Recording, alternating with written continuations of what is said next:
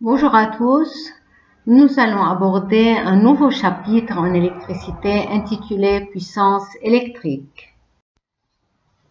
Parmi ces trois sèche-cheveux, lequel choisir pour mieux lisser les cheveux? Le blanc, le rouge ou le noir? À mon avis, le noir. Pourquoi j'ai choisi le noir?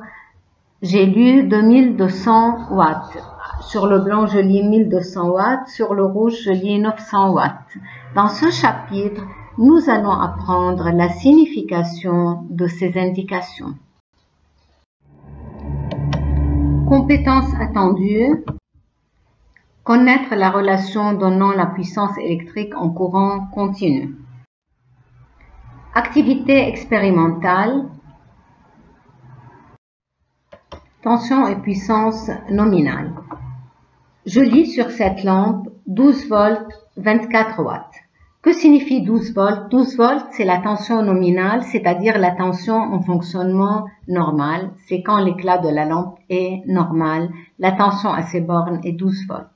L'indication 24 watts est appelée puissance nominale de la lampe, la puissance électrique reçue par la lampe en fonctionnement normal. Détermination expérimentale de la puissance électrique. Nous allons faire l'expérience suivante. Vous avez le générateur à tension réglable. On peut avoir 6 volts, 12 volts. Là, on a choisi 12 volts. L'ampèremètre, le voltmètre branché aux bornes de la lampe, l'ampèremètre en série avec la lampe. L'éclat de la lampe est normal. L'éclat de la lampe étant normal, euh, l'intensité est 2 ampères et la tension à ses bornes est 12 volts. Sur la lampe, je lis 12 volts 24 watts. En multipliant U fois I, c'est-à-dire 2 fois 12, j'aurai 24 watts, tout à fait ce qui est écrit sur la lampe. Je peux répéter l'expérience avec d'autres lampes euh, où c'est écrit par exemple 12 watts ou bien 3 watts, ainsi de suite. Euh, quand la lampe éclaire normalement, je vais toujours avoir P égale U fois I. Un dipôle soumis à une tension U et traversé par un courant d'intensité I reçoit une puissance électrique P telle que P égale U.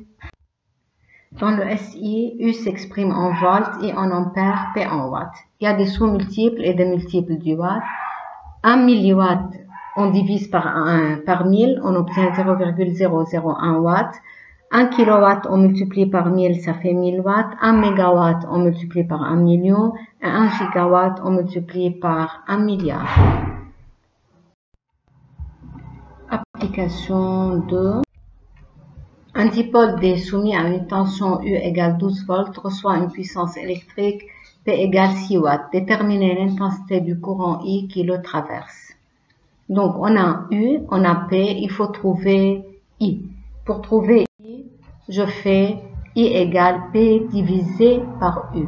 6 divisé par 12, ça me donne 0,5 ampères. L'essentiel du cours, il faut retenir la formule P égale U fois I, savoir que P c'est la puissance électrique, U la tension, euh, et I c'est l'intensité, U en volts, I en ampères et P en watts. Prêt pour un feedback? La puissance P d'un appareil électrique est égale au produit de la tension U entre ses bornes par l'intensité du courant I qui le traverse. C'est vrai, P égale U fois I, donc c'est le produit de U et I.